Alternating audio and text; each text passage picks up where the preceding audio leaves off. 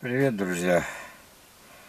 Сегодня у нас 18 жара, на то и Сибирь. Многие даже европейцы и прочие американцы при слове Сибирь вздрагивают и не знают, что Сибирь это тепло.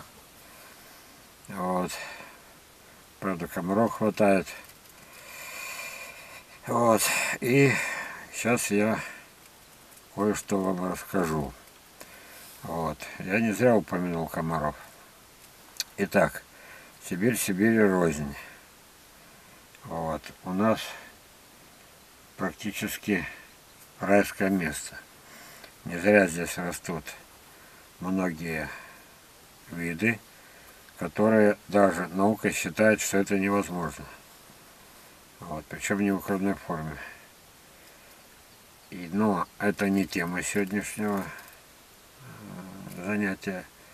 Как бы это сказать. Другая тема, назовем это, назовем это опять, наверное, около садовой рассказа. Вокруг да около. Вот. Когда я начал печататься, и появились мои статьи, вот, потянулись сюда люди из породы птенцов Владимира Магре. Так можно выразиться. Сотни тысяч людей сошли с ума. Книги про таежную отшельницу Анастасию. Совершенно сказочный персонаж. Миллионы людей восприняли как э, реальность, а сотни тысяч людей решили перебраться из душных городов на открытый воздух. Вот. Ну, а у меня копились наблюдения, информация. К тому же, что из моих же публикаций получалось, что я живу почти в раю. Я и сейчас так считаю, что я живу практически в раю. Вот уже то, что нас комары достают, но не так достают, как это. Вот бывало, что отдельное лето, особенно засушливое, а комары не любят засуху, им дожди подавай, лужи подавай, они в каждой луже разводятся. Вот. Отдельное лето мы их даже и не замечали. Например, косишь траву, накидываются на тебя. Не трогаешь траву, и они тебя не трогают. Вот. А почему я начал с этого? Один из приездов молодого человека, которому было лет 25. Он приехал с видеокамеры из города Томск. Вот. Он был очарован э, у, у, книгами Мегре. Он был чистый анастасиевец. Уже в то время появились гимны анастасиевца, песни анастасиевца. Вот. И вы бы видели, когда он в минуты отдыха, когда мы с ним ничем не занимались, просто ничем. Он включал, уже забыл что, может какой-то маленький магнитофончик, что тогда было, я не помню. Вот. И когда звучала мелодия, ну, про природу, красивую мелодию, он закрыл глаза, сидел и раскачивался. Вот это был чистый анастасиевец. Вот. И он рассказал страшную, на мой взгляд, страшную историю, потому что любое дело можно загубить. И так жители Томска, и так они объединились. 100 человек превратились в небольшую организацию, самая дотошная от имени этой организации пошли в администрацию, сказали, дайте нам землю. Прошу прощения. Бывает по теме звонят. Алла Железова на проводе.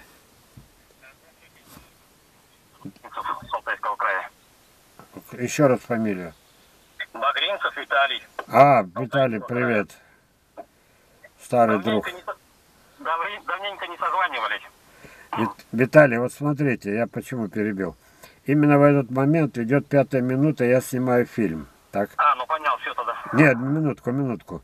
А вы сейчас вдруг такой вопрос зададите, который всем интересен. Вот так бывало. Фильмов сотни. А, меня интересует обстановка э, по Косточковым в этом году. О, это я, это я всем расскажу. Мне, извините, кушать хочется. Еще куча детей, которые меня дедом называют.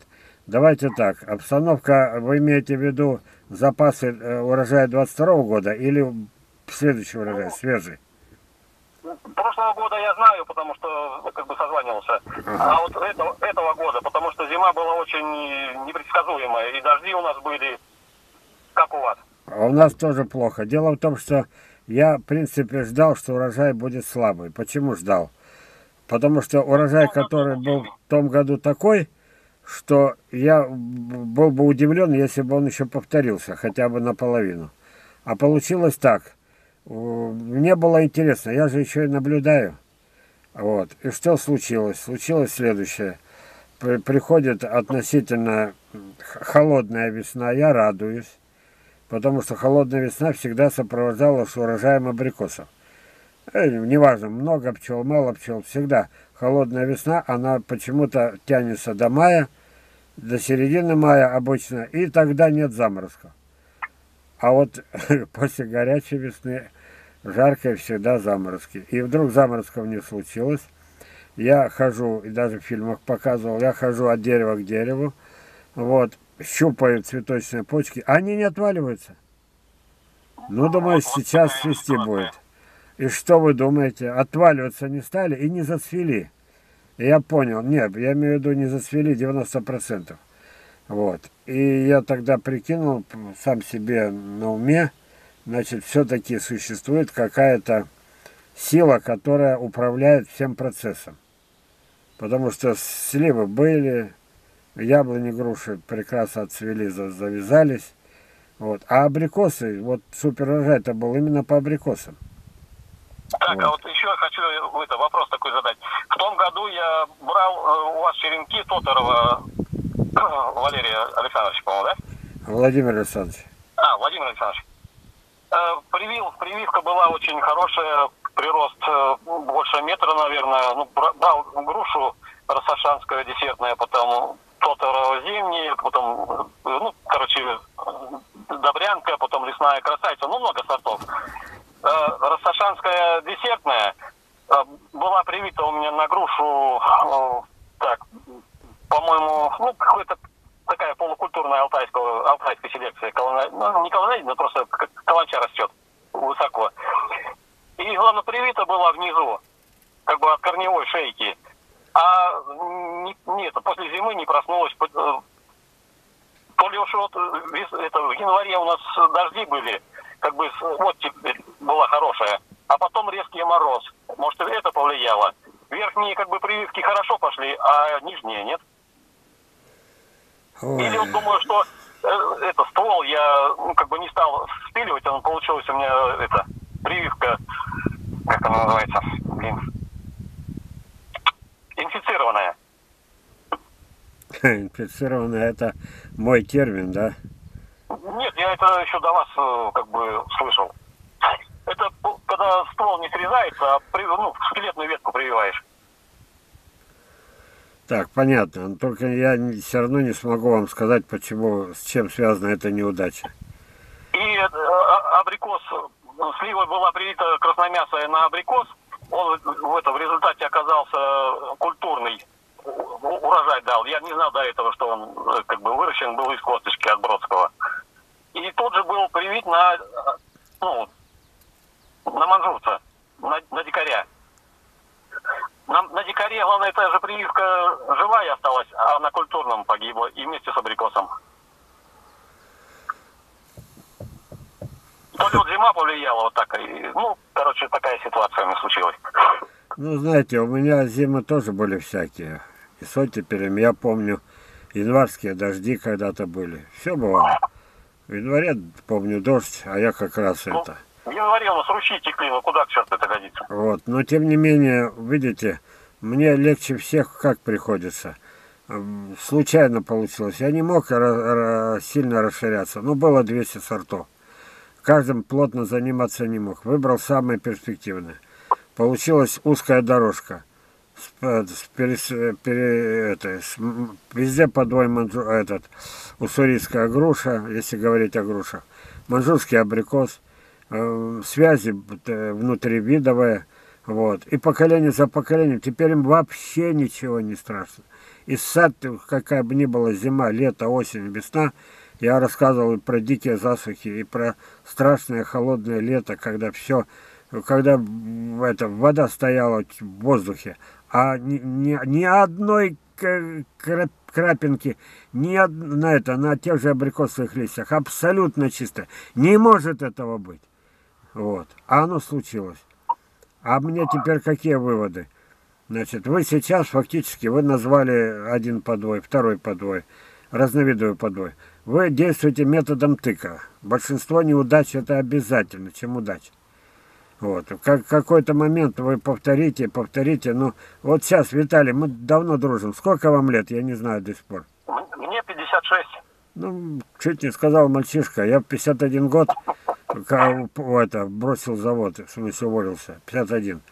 А 56 сожгли этот сад мой, чуть не сказал маточный, промышленный сад яблоневый. Вот. И много еще что сгорело. Ну, считайте начало, там фактически 56 лет. Вот. И получается, что узкая тропинка, вот э, я же рассказываю не только вам. Неудачи были, будут. У меня они с каждым годом меньше и меньше, потому что вот такая жесткая практика. Всегда тот же подвой. Персик вот хасанский тоже у меня погиб. Ну, здесь я не, не укрыл его, решил поэкспериментировать. Ну и такая весна, вернее зима, и не проснулся он. Ну, Хотя уже высо- по- высокий по- был. на будущее я говорю вам и всем. Даже хасанский персик требует э, на Урале, в Сибири, Дальнем Востоке укрытия. Вот. Ну, сеянцем он еще был посеян, посажен, вот что. Ну, а он еще и не привитый. Ну, Вот, укрытие полностью или хотя бы нижняя половина. И вот что я думаю. Не знаю, случайно, не случайно ваш звонок раздался. Он, э, вы же не нарочно мне звонили под эту запись. Мы потом все равно бы записали наш разговор. Так сложилось. Я начал с совсем другого. Вот. А сейчас получается что? Как этот разговор нам закончить? Вы спросили, как у меня дела. Ну, абрикосовый очень слабый урожай. Все остальное в порядке. Деревья живы. Деревья целы. Получается, что, как говорил Владимир Ильич Ленин, верная дорога идете, товарищи. В следующем году будет большой урожай и так ну, далее. вот с того года, что, ну, как бы ходили абрикосы эти, ели, тут же плевали. Схожесть, э, как бы, очень, ну, косточки позашли Ага. у меня. Ну, они, получаются дикари. Потому что... Почему? А в основном у меня под скальным от Бродского. А, ну это да, это будут дикари. Нет, их можно будет использовать в Ну, переработке. на подвой. Подвой в переработке. Но опять всем Ну, говорю. И, Абрикосы, они вкусные. а, тем более вкусные. Ну, придется так. Если уже заниматься скальным, то только скальным. Ве- Весь успех мой, вот этот грандиозный, связан только от того, что из 40 лет, 30 с лишним лет, все подвои с одного дерева. Вот она это. Вот. Это редчайший случай. А где такие деревья в У меня, стране? у меня же манжурец ваш растет. Во. Ну вот видите, у вас теперь будет такая же возможность. Вот, и через 10-15 лет у вас проблемы не станет. Но это все впереди. У нас прошлого года косточки остались все. У меня, Ага. да, лет, в общем, если такими темпами, то лет на 10. Еще на десятилетие. Да, но другое дело, я не знаю, сколько они хранятся. Я больше трех лет не хранил. Понятно. Вот, а так, э, я их сейчас летом А перс- персики в этом году что, как? Ну, персиков, значит, э, у меня же как бы два сада. Сад дублер Чернобаева, он укрывал, у него урожай хороший. У меня, у меня не укрытые, без плодов, и только в теплице, у меня там всего два с половиной дерева персиковых, те, те с плодами, но в теплице, а это уже неинтересно. Ну, это понятно уже. Не, все равно есть предел всему. В этом году я весной э, выписал, короче, саженцы с Хабаровска от Чудопавлова Сергея Владимировича. О, это волшебник. Ну, вот его три сорта у меня как бы Каманч, э, Подарок осени и Азиат. Только укрывать, укрывать. Это я теперь буду укрывать все. Вариантов нет. Он, он укрывает и не скрывает это. Ну, я знаю. Только укрывать. Но зато будете персики кушать и без отравы. Ну, такие вот у нас проблемы. Так, значит, косточки у вас есть, можно будет, э, если что. 15 рублей косточка, потому что я по 30 начинал продавать урожай 22 года в прошлом году. А сейчас лето, спроса нет, куда деваться. 15 рублей косточка, любая. Сливовая, вишневая, абрикосовая. Сейчас Вот. тоже летом рассылаете. Да, вот, а что, не в курсе? Конечно, рассылаю. Куда деваться-то? Кто нас, Так, кто нас кормит? Пенсия? Ну, у меня пенсия 14 тысяч. Ой, блядь, у меня хотя бы 21.